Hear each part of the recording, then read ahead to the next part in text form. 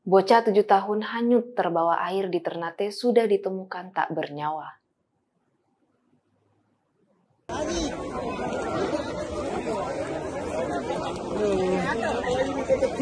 Firman Wandi, bocah tujuh tahun yang diduga terbawa arus Kalimati di lingkungan Kelurahan Malikrubu, Kota Ternate Tengah, berhasil ditemukan.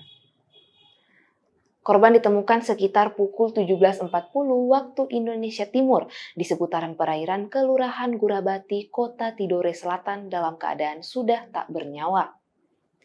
Pihak Basarnas sudah menerjunkan dua orang personel untuk menuju ke lokasi.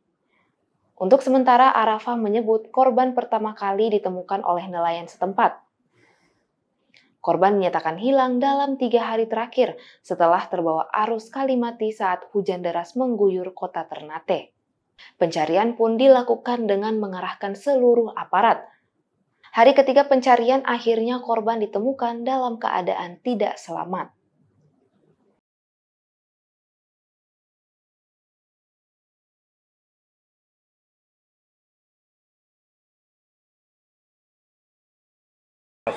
Bahwa korban telah ditemukan oleh salah satu nelayan atas nama Pak Jafar di perairan antara Pulau Mare dan Pulau Tidore dan jenazah tersebut dibawa menuju ke Desa Gurabati. Demikian. Saksikan terus berita terbaru lainnya hanya di YouTube Tribun Ternate.com. Terima kasih sudah nonton. Jangan lupa like, subscribe, dan share ya. Thank you.